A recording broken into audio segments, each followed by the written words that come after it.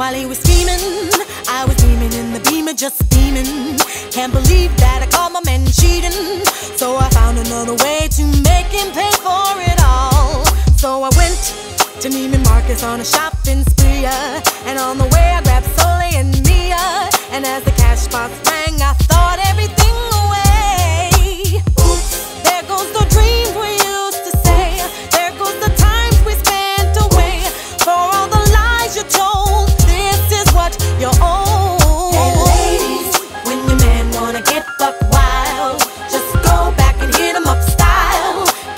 Hands on his cash and spend until the last dime for all the hard times. Oh. While he was bragging, I was coming down the hill of just a dragon.